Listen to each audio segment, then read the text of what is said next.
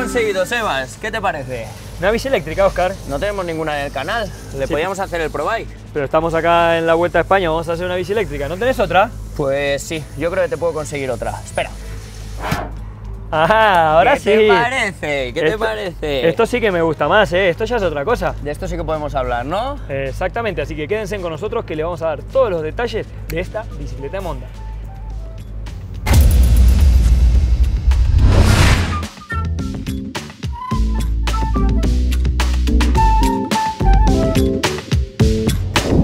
Colores y en esta bicicleta de eso vamos sobrados. Así que lo primero que os vamos a preguntar es que nos dejéis en la sección de comentarios si os gusta o no. Yo lo tengo claro, a mí me gusta. Esta es la bicicleta de Kenny Elison, el corredor del Trek Segafredo, y como pueden ver es un cuadro en Monda. No vamos a hablar demasiado del cuadro, ya que lo han visto en nuestro canal, es la versión escaladora de la marca Trek, pero sí que podemos hablar de la pintura. Como sabéis, las bicicletas se suelen personalizar con los colores del equipo o de los sponsors que patrocinan ese equipo. Esta en concreto se personalizó para los Juegos Olímpicos de Tokio, el país del sol naciente, Japón. Así que se intentó recrear lo que sería un amanecer con los colores que hace el, sol con el cielo. Exactamente, todos los corredores que pertenecen al Trek Factory Racing, aquellos que están sponsorizados oficialmente por Trek, corrieron con estos mismos colores, carretera y también mountain bike. El cuadro, a pesar de ser el modelo escalador, el Emonda, no se olvidan de la aerodinámica, con todos los cables ocultos que entran por la tapa de dirección, que también está personalizada con los colores del cuadro, una parte delantera sobredimensionada, un tubo diagonal con la forma en D, la horquilla también con la forma en D, eh, plana por detrás y el soporte para el dorsal integrado en el cuadro, en una parte bastante baja, también pensando en una mejora aerodinámica. Siguiendo con las mejoras aerodinámicas nos encontramos con el manillar. En este caso, al ser una bicicleta de disco, tiene todos los cables integrados.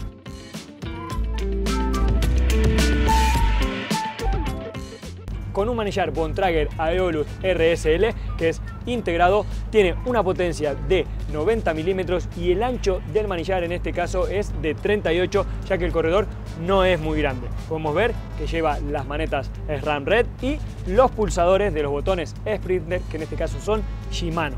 Encontramos también en el manillar integrado el soporte para el ciclocomputador KH y el ciclocomputador Wahoo Roam.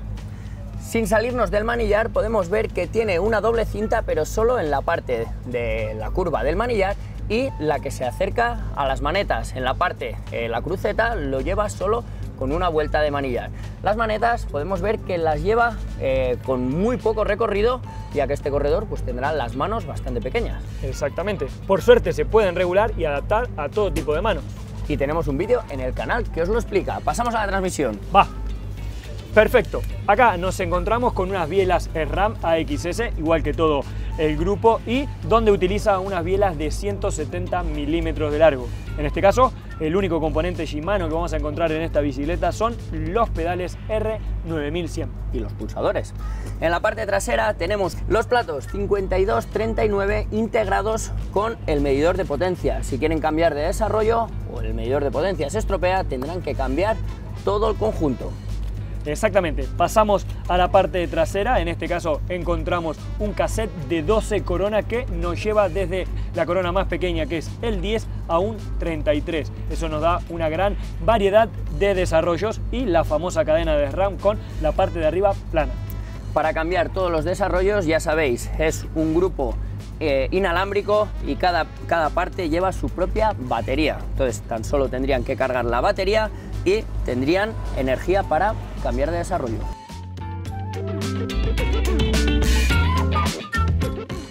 Y ahora vamos a pasar a las ruedas donde vamos a encontrar una de las cosas más especiales de esta bicicleta. No sé si lo descubrirán, ¿no? ¿Qué Bueno, yo creo que se ve. bueno, las ruedas en este caso son de Bontrager, como muchos de los componentes que tiene esta bicicleta. El modelo es el Aeolus RSL 37, eso quiere decir que tiene 37 milímetros de perfil. Pero lo especial lo encontramos en los tubulares. En este caso, Trek lleva tubulares Pirelli P0, pero con cámaras Smart Tube de TPU. Normalmente los tubulares vienen montados con cámaras de látex, pero ahora para mejorar el coeficiente de rodadura se está utilizando estas cámaras. Como ventaja tienen que son muy ligeras y que no pierden eh, la presión como lo pierden los tubulares con cámara de látex. Exactamente. En cuanto a la frenada de esta bicicleta, se los dejan a los discos, en este caso es Ram Red eh, AXS también, con un disco de 160 milímetros en la parte delantera y uno de 140 milímetros en la rueda trasera. Y en cuanto a la tija, es una tija invertida. Eh, normalmente la tija va dentro del cuadro insertada y aquí la tija va por fuera. Eh, las dos partes son de carbono y luego los ciclistas pueden elegir entre dos medidas, corta y larga, y con retroceso o sin retroceso. Exactamente, en la parte de arriba vemos el asiento Bontrager Verse Pro, que es un asiento que tiene una ranura central para aliviar las presiones y también los rieles de fibra de carbono. La medida de este sillín es de 135. La elección de este corredor es un sillín estrecho. Los portacaramañola son de la marca Bontrager y ahora creo que es hora de pasar a las medidas y el peso. Y las caramañolas élite. Exactamente.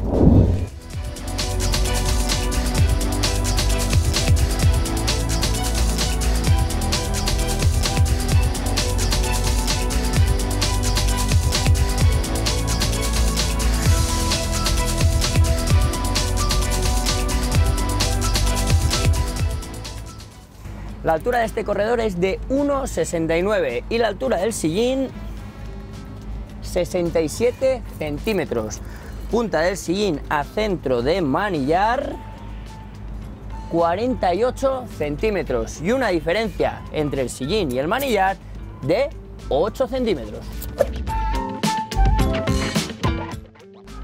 Uf, Sebas, tiene pinta de ser muy ligera, así que báscula para acá, quítamele todo lo que... Los accesorios. Todo lo que le sobra y... 6 kilos 840. Están al límite, ¿eh?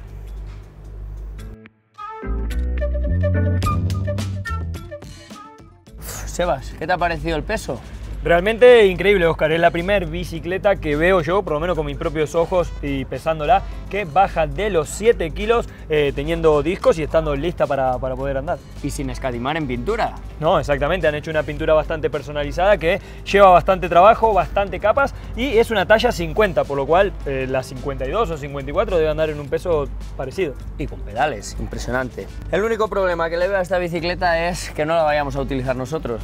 No, ni nosotros ni ningún otro corredor, ya que esta bicicleta se hizo y se personalizó eh, para las pruebas de Tokio y no se va a volver a utilizar. Así que nada, tenéis la sección de comentarios para dejarnos cualquier sugerencia, opinión o cualquier otra cosa sobre esta bicicleta o sobre lo que queráis del canal. Sí, y también pueden pasar por la app de GSN a votar si esta bicicleta es bonita o espectacular. Y como siempre, si os ha gustado este vídeo, hacérnoslo saber con el pulgar hacia arriba. Nos vemos la próxima. Chao. Salud y pedales. Me la llevo.